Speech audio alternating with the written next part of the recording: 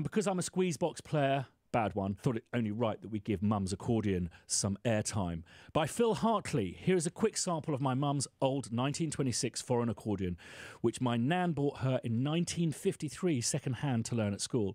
It has been in every studio I've had over the past 30 years and appeared on numerous recordings and sat gathering dust until uncovered again during lockdown and gave a massive injection of inspiration to a cue I've been working on for days. Alas, the melody required a D two semitones above what this little old dear was endowed with, so sampling it had to be done and I figured it could be my first offering to the Pianobook community of which I'm a huge fan. So Phil Hartley, Bass from Space, thank you so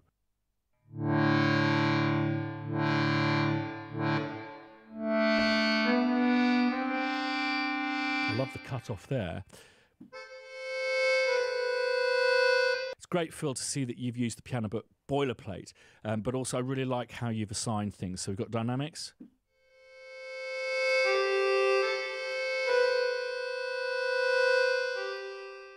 What I would do is again just go and do this, just limit this ever so slightly, just so it doesn't go into oblivion.